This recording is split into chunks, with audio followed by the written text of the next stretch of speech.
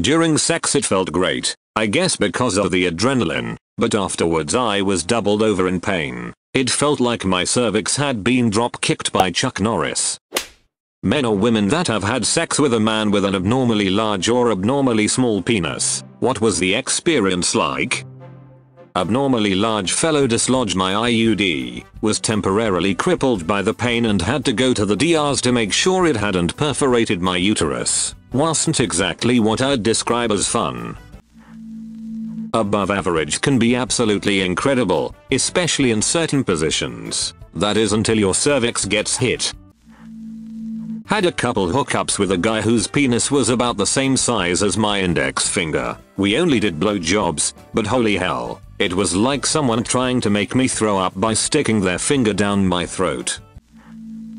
Had to tell him to stop about halfway in. Not fun when terrified of injury. We were in our 20s. He was a smoking hot virgin. He met a woman who could enjoy all he had to offer. 26 centimeter. Not long after our attempt and Facebook says they're still together over a decade later. I don't even know if what we did qualifies as sex. He looked at me with a terrified, are you okay? Look on his face and was met with my freaked out expression. Fun to look at, scary to experience.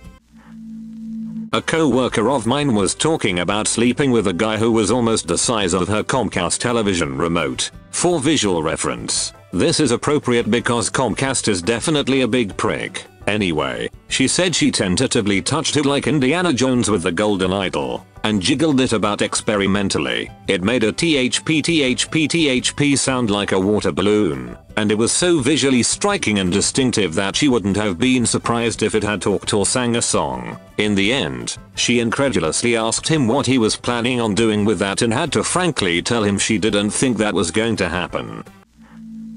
I lost my virginity to someone with a 9 incher. He was the epitome of having a big penis doesn't make you good in bed. Didn't try to turn me on. Didn't do anything but jackhammer until he finished. Couldn't even find my clit the one time he ever tried. All I really remember about that sex is the overwhelming, displeasurable pain of having him punch my cervix with his penis. He used his size as a reason to not really try in bed. He never gave me opportunity to warm up, and even though I thoroughly enjoy super super rough sex, he just thought ramming it into me over and over was the way to go. Lack of warm up and him just thrusting hard like no tomorrow left me sore and angry. Not a good kind of sore, either. My cervix hated me when I was with him. I was with a guy who wasn't vert well endowed. We were fooling around and he asked for a hand job. I went to put my hand around and found that my hand was larger than his fully erect penis. Similar to many others, couldn't feel it when he put it in either. I was with a dude who had a penis like a large deodorant can. One night we were doing the dance of the beast with two backs, and he must have bashed my cervix one time too many and I began to faint. I realized what was happening and tried to make it to the bathroom, not sure why. I thought I'd been pretty speedy but turns out he had had to shepherd me along the 5 meter corridor because I was all over the place, literally bouncing off the walls. I didn't even know he'd followed me. My roommate came out of her room to find me completely naked passed out on the toilet with my panicking boyfriend trying to bring me round. At about 1am, I eventually came round and kept frantically asking him to bring me my slip. He didn't understand. Bring Emmy my slip. My slip. I was frantically trying to cover my bits and bobs with my hands to maintain some level of dignity. I wanted my nightie and had never called it my slip in all my days. I was so confused.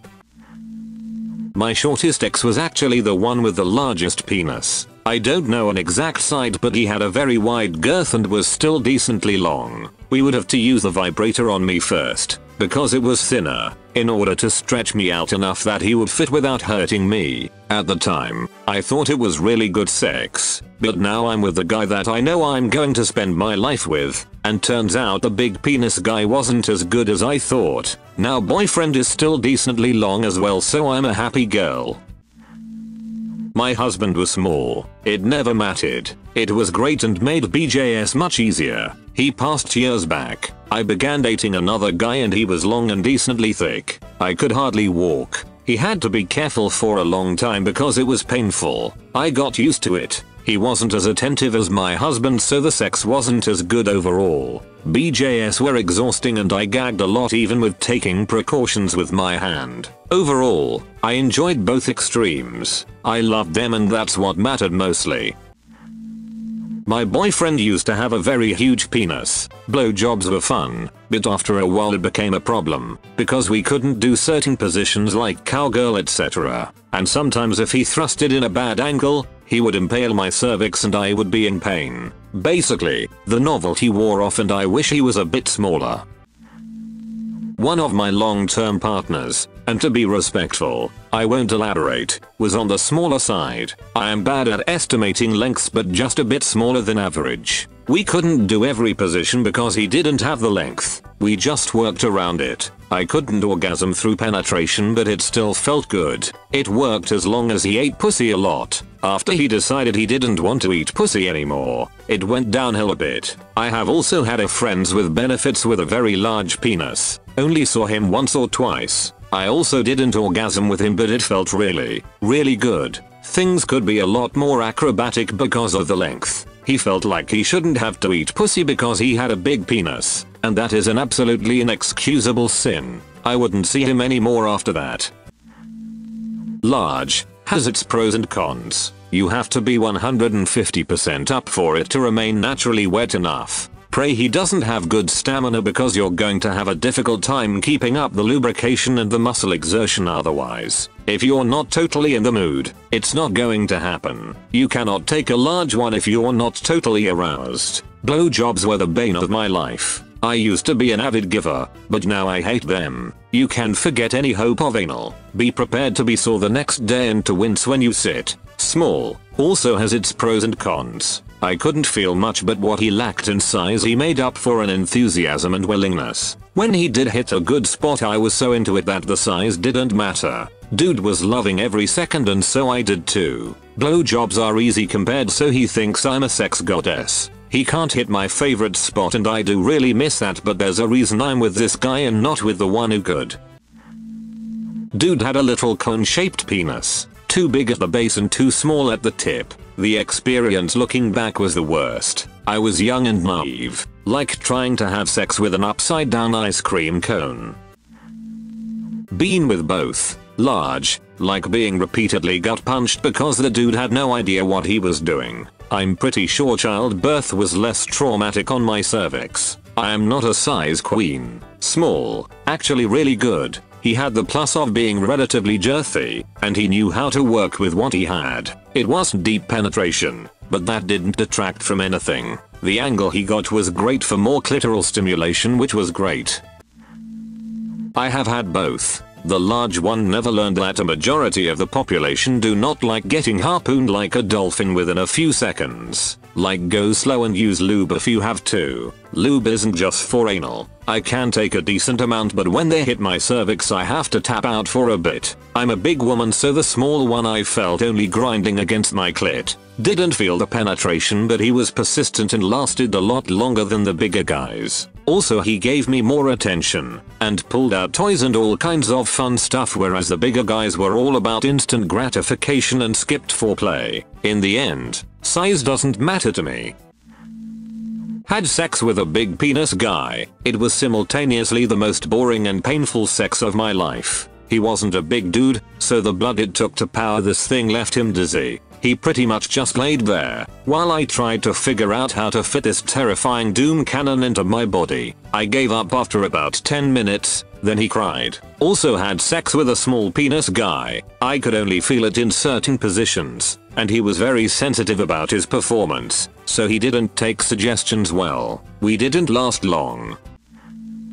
Had a Tinder hookup with a guy. He was talking big game about his penis, about how he was going to F me so hard I couldn't walk, etc. over Snapchat, so I was eager to meet up. When I get there he whips it out and I swear, he had to have 3 inches, maximum. I must have made the worst face because he just started apologizing about the size, while I'm trying to reassure him it's fine. The condom was almost too big for him. In all honesty, it was the worst sex I've ever had. I didn't feel anything. He only lasted a minute or two, and it just left me horny and angry. I felt kind of bad because I was obviously pissed off when I left, and he immediately unmatched from me the moment I stepped out of his apartment. When I was ranting about it to my friends, one of them pointed out that although it was a bad situation for me, think of how embarrassed he was. Still, just don't talk mad game and then disappoint like that. He didn't even go down on me. Was with a smaller dude. Like others here have said, felt nothing. Pretty sure most of the action was him grinding against my inner thigh. We were young, and didn't really know what else to do outside of just basic sex. Nowadays I would ask for more attention because regardless of size, you can still have good times if there's other foreplay and fulfillment involved. And I would assume most men go crazy at the thought of a woman giving them more info about what they want. So the good times can roll for both parties. He was a good dude and an attentive boyfriend. We broke up due to being long distance. I don't regret it and I'd never make fun of a guy for the size of their sklong. It's not the dick that makes the man, it's the willingness to be an open and loving partner. It was really small, bordering on micro, so trust me when I say I mean what I said above. In all other aspects the guy was funny, caring, and great to be around. We stayed together for a good while, and did only break up because there were more than a few states between us. And when you're that young you don't really have the money to travel very often. This was a very, very long time ago as well. I'm talking like 14 15 years I am very old, in Reddit ages, I guess. Middle age is the new 80, right? And to the rest who say I'm probably lying and it would be boring to not have full on P plus V sex. That's your opinion and experience. Mine is different. You're welcome to your beliefs, but don't try to insert them directly into my head. The only one in my head is me, as far as I know, and the only one who has had my particular life experiences is me, as well. Which is how I came to be who I am at this point. People always act like there's some kind of shame in using toys and stuff during regular sex. There's not. Sex stores wouldn't stay open if it wasn't fun to use them. Just saying. Was with a guy that had a 3ish maybe less penis. I genuinely didn't care and look back on it at times as one of the better experiences I had, because he actually cared about how I felt and he looked at me like I was the most beautiful girl in the world. I don't know for sure, but I got the impression. He was a bit virginy. I would 10 out of 10 do it with someone that had a small penis again. It helps that I have a shorter smaller vagina. Even average size penises can feel pretty big to me. A girl once told me that a limo is impressive, but it's not that fun to drive and is especially hard to park. A regular sedan might be less impressive, but much more fun to drive and you can park almost anywhere. So I asked, how do you feel about hatchbacks? Thanks for listening to Radio TTS, my dirty-minded ice cream sandwiches clicking on a video with penis in the title. As you see, size does not matter so much, and big size sausages can even have disadvantages. Hit the subscribe button for more dirty videos like this.